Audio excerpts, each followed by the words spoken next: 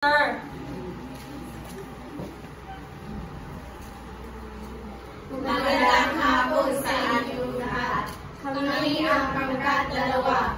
At nandito kami sa, sa, iyong harapan para i-representa ang tungkol sa talambuhay ni Francisco Balagtas.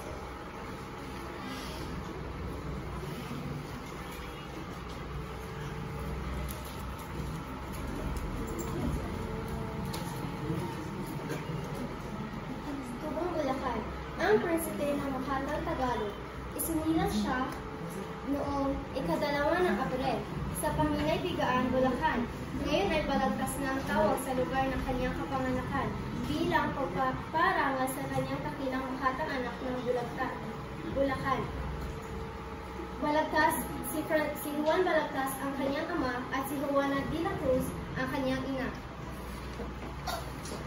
Ang kapalit at si Doña Doña Trinidad ang kanya ang, ang nagpapaaral sa kanya. Pinag-aral siya sa Colegio de San Jose.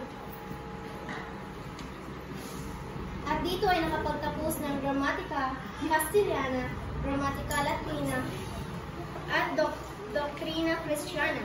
Ang mga nabanggit, nabanggit ay ang mga karunungang kinailangan niyang malaman upang makapag-aral siya ng Coronis, ang batas ng pananampalataya.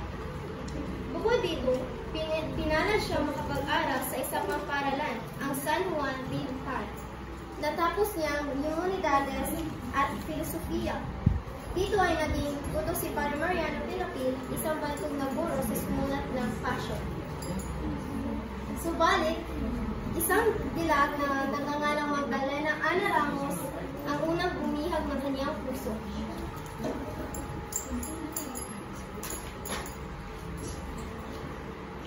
Sinikap niya handugan ang dalaga ng isang tula para sa kaarawan ito.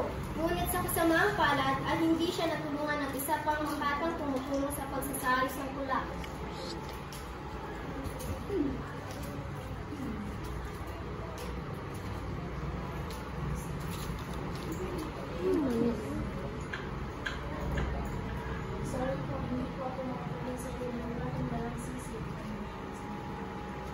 Ang tulay ipapayos ni Sana kay Jose de la Cruz na tinawag na Kusing Sisim ay hindi tinanggap sa kadahilan ng wala siyang dalang sisim na pambabayan.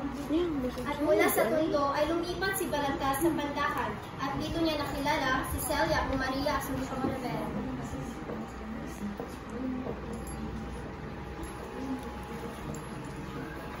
I'm sorry.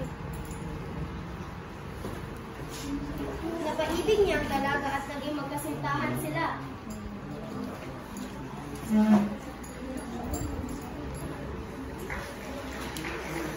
Subalit nagkaroon siya ng mahigpit, mahigpit na katunggali sa.